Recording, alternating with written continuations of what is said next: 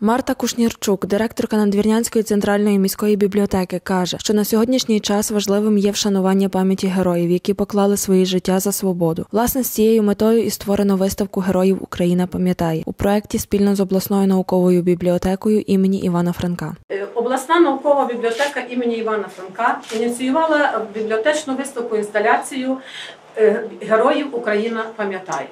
Наша бібліотека взяла участь у цій е, виставці, е, у цьому конкурсі. І ось сьогодні ми презентуємо вам, як у нас це вийшло. Представляємо вашій увазі не лише документні ресурси, які є у нашій бібліотеці із історії України, з її героїчного минулого і сучасного, але й інші речі і аксесуари, власне, для того, щоб підсилити значущість цієї виставки, значущість теми і, зрештою, виконати умови конкурсу, що це не просто виставка книжкова, а виставка інсталяція. Сама виставка складається з кількох розділів та гармонійно поєднана в одну цілісну патріотичну композицію, зазначає бібліотекарка Світлана Гаєвська. Ще від часів князя Святослава впродовж віки та століття, епоха козаків, героїв сучасників, протестувальники революцій та всі захисники збройних сил України, які мужньо тримають оборону, згадані й вшановані у заході. Нашу експозицію відкриває добірка книга. У нас є вісім тематичних поличок, які е, розказують історію України від часів козацтва до е, 2022 року. Кожна тематична поличка присвячена українським героям. Це все важка хронологія і розповідь, сповідь з облитим кров'ю серцем, історією важкої боротьби за кожний сантиметр нашої української землі. Виставку доповнили особисті речі, військовий одяг, а також українська символіка, що передані воїнами, учасниками війни в теперішній час. Юрій Остапчук, учасник АТО, розповів про українські прапори, які було представлено на заході. Ну, Цей стяг перший до Карпатської Січі, це нам подали е, як волонтерам. Саме дороге мене оця, оця танкова рота. О, на жаль, тут є підписи, які хлопців вже немає живих у нас. Ми стояли пліч у пліч в Дебальцево із цією ротою. Ну, рота не була ціла, там їх менше було. Ну, Оце саме такі дорогі, вони вже на дємлі, що вони подарували.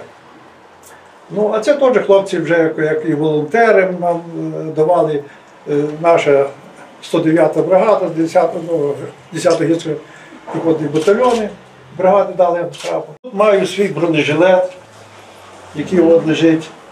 Бачите, тут я трошки такий порваний. Це осколки били мене в плечі, і якраз воно трохи спасло.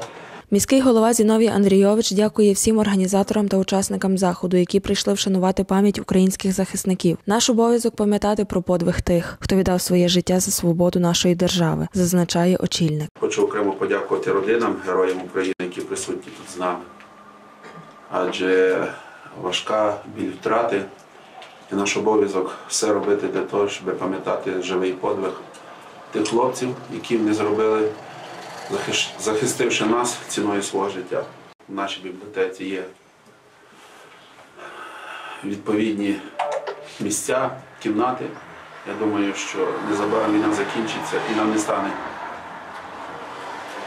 таких приміщень, які ми могли розмістити, ті речі, які стали символом, оберегом і перемогою в цій війні. Нам постійно треба нагадувати, якою ціною, дивлячись хлопцям в очі, ми маємо сьогодні можливість жити, працювати і творити. Керівниця центру позашкільної освіти Надвірнянської територіальної громади Руслана Штогрин-Кален розповідає, як діти стали ініціаторами благодійної допомоги для ЗСУ. Війна торкнулася кожну людину і торкнулася безпосередньо кожну дитину. Дитячий театр модний наш щорічний традиційний звіт готував е, показ моделей. То самі діти запропонували, аби це були моделі на військову тематику. Навіть наші діти, крім того, що вони малюють малюнки, роблять вироби для воїнів, якісь там е, на ярмарки, на благодійні концерти. Їм не шкода своєї роботи, своєї так якби моделі, а вони хочуть, щоб це було для, е, для армії. Начальник управління освіти Надвірнянської міської ради Тетяна Дземюк каже, що у цей нелегкий час для нашої країни треба якнайбільше організовувати подібних заходів. Ми маємо справжніх живих героїв. Ми маємо тих людей, якими можемо тільки захоплюватись, пишатися і гордитися, що в нас дійсно є справжні патріоти, є люди, які стали на захист нашої держави. Внесок у виставку Героїв Україна пам'ятає зробили і учні Елеонори Левицької, викладачки художньої школи. Діти вибирають самі, якого їм зображувати. Інколи це просто якийсь довільний образ, такий збірний образ героя чи солдата, звичайно. І ця серія це е, перші місяці війни, коли був такий, пам'ятаєте. е, Складний момент для України, що дуже багато жінок з дітьми мусили покинути країну, тікали, е, рятували своє життя. Це був такий дуже тривожний момент, хвилюючий. Ми приймаємо участь у всіх ініціативах, які нам пропонуються.